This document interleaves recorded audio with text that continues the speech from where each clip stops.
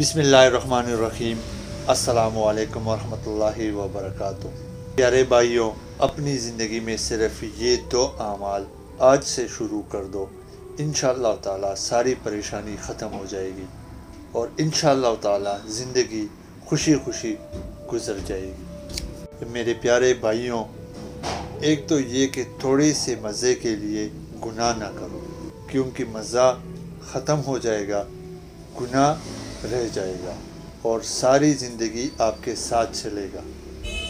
قبر میں تمہارے ساتھ چلے گا عشر میں تمہارے ساتھ کھڑا ہوگا، جہنم میں تمہیں چھوڑ کے آئے گا۔